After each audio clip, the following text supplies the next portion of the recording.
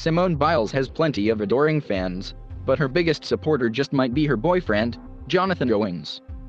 After the gymnast took home a bronze medal in the individual balance beam final Tuesday, Owens didn't waste any time congratulating his girlfriend on social media. In his Instagram story, the football player shared a photo of Biles and added the following loving caption Words can't explain how proud I am of you right now.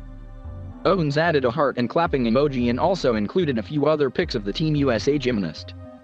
The sweet gesture must have captured Biles' heart, too, because she reposted the photo in her own Instagram story.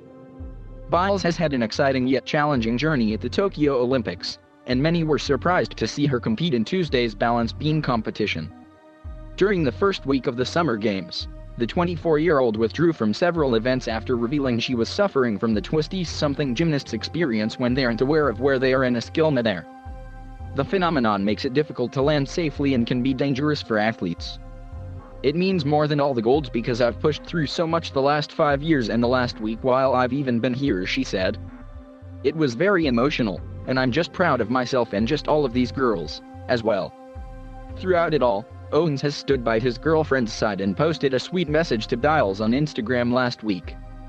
I'ma ride with you through whatever baby red heart your strength and courage is unmatched and you inspire me more and more every day SB crossed fingers medium skin tone you always gonna be my champ baby and don't you ever forget that.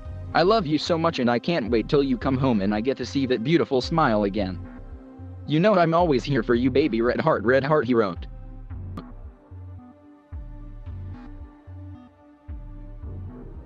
Thank you for watching. Please subscribe